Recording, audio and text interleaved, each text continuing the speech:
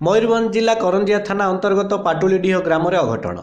ଗତକାଲି ବିଳମ୍ବିତ ରାତିରେ କୌଣସି ଦୁର୍ବୃତ୍ତ ପାଟୁଳିଡିହ ଗ୍ରାମର ଜିରାମଣି ସାଏ ନାମକ ଜଣେ ଜୈନିକ ବୃଦ୍ଧାଙ୍କୁ ଅତି ନିର୍ମମ ଭାବେ ହତ୍ୟା କରି ମୁଣ୍ଡରୁ ଗଣ୍ଡିକୁ ହାଣି ହତ୍ୟା କରିବା ପରେ ମୁଣ୍ଡକୁ ପାଖାପାଖି ଚାରିଶହ ମିଟର ଦୂରରେ ଥିବା ଏକ ଗାଧୁଆ ତୁଠ ନିକଟରେ ଦୁର୍ବୃତ୍ତମାନେ ଛାଡ଼ି ପଳାଇଥିଲେ। ତେବେ ଆଜି ସକାଳୁ ଗ୍ରାମର କିଛି ମହିଳା ନଦୀକୁ ଗାଧୋଇବା ପାଇଁ ଆସିବା ବେଳେ ଗଣ୍ଡିବିହୀନ ଏକ ମୁଣ୍ଡ ତୁଠ ନିକଟରେ ପଡ଼ିଥିବା ଦେଖି ପ୍ରଥମେ ଗ୍ରାମବାସୀଙ୍କୁ ଖବର ଦେଇଥିଲେ।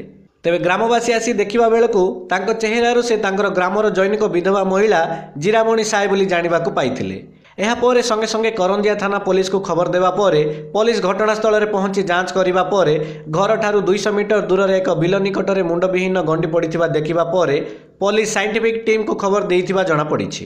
ତେବେ ସାଇଣ୍ଟିଫିକ୍ ଟିମ୍ ଆସିବା ପରେ ଘଟଣାର ସତ୍ୟାସତ୍ୟ ଜଣାପଡ଼ିବ।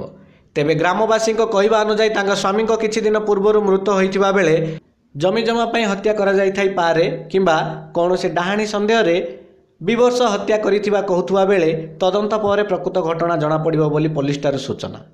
ତେବେ ଏହିପରି ହତ୍ୟାକାଣ୍ଡ ବାରମ୍ବାର ହେଉଥିବା ବେଳେ ପୋଲିସର କୌଣସି ସୁରାକ ମଧ୍ୟ ପାଉନି। ତେବେ ଏହି ଘଟଣା ପରେ ପୋଲିସ ପକ୍ଷରୁ କ'ଣ ପଦକ୍ଷେପ ଗ୍ରହଣ କରାଯାଉଛି ତାହା ଦେଖିବା ପାଇଁ ବାକି ରହିଲା। ତେବେ ଏହିପରି ହତ୍ୟାକାଣ୍ଡରେ ସାମିଲ ଥିବା ବ୍ୟକ୍ତିଙ୍କ ବିରୁଦ୍ଧରେ ଦୃଢ଼ କାର୍ଯ୍ୟାନୁଷ୍ଠାନ ନେବା ପାଇଁ ସାଧାରଣରେ ଦାବି ହେଉଛି। ମୟୂରଭଞ୍ଜ ଜିଲ୍ଲା କରଞ୍ଜିଆରୁ ଦୀପକ ମହନ୍ତଙ୍କ ରିପୋର୍ଟ ଉତ୍କଳ ଖବର